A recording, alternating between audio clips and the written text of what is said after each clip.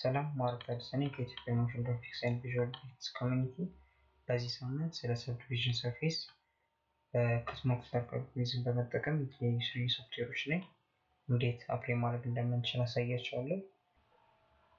ስሪዲ ሞዴል ያደረግነውን object polygon ኦችን ወደ ትናንሽ polygon በመከፋፈል smooth የሆነ surface እንዲፈጠርልን የምንጠቀምበት መንገድ ነው።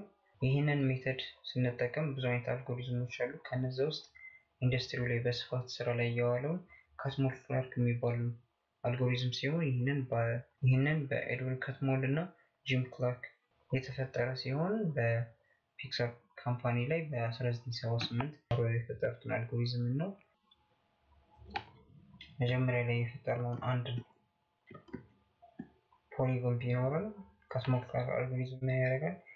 የመጀመሪያ አንድ polygon ያለንን subdivide ለማድረግ የመጀመሪያውን level ላይ አንዷን polygon ወደ አራት እኩል ሊከፍልልናል ማለት ነው። ይሄ የመጀመሪያ level one ይባላል። level one ላይ አንዷን አራት ይከፍላታል። level two ሲሆን አራት the power of two ይሆናል። አስራ ስድስት ጊዜ ይከፈላል ማለት ነው። level three ሲሆን the power of three ይሆንና ስልሳ አራት polygon ይኖረናል። አራተኛ ሲሆን ደግሞ አራተኛ level ላይ ሁለት ሀምሳ ስድስት ይከፋፈላል።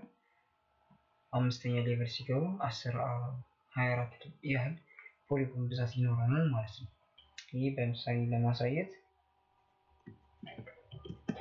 መጀመሪያ የፈጠርነውን rough የሆነ ሞዴል እንደዚህ ከነበረ በ Catmull-Clark subdivision በመጠቀም ወደዚህ በተቻለውን ያህል smooth የሆነ surface ለመፍጠር ይሞክራል ማለት ነው።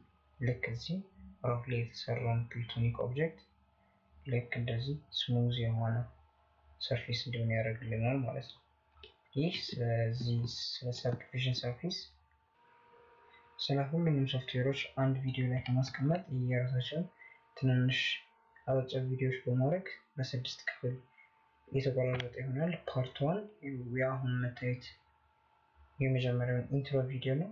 በ part two ላይ Houdini በመጠቀም ያ subdivision surface እንዴት እንደሆነ አሳያችኋለሁ። part three Cinema 4D Maya Modo እያለ ይቀጥላል። የመጨረሻው part ላይ Arnold Octane እና Redshift በመጠቀም እንዴት subdivision surface በቀላሉ መስራት እንደምንችል አሳያችኋለሁ። አሁን ወደ ፓርቱ እንግባ።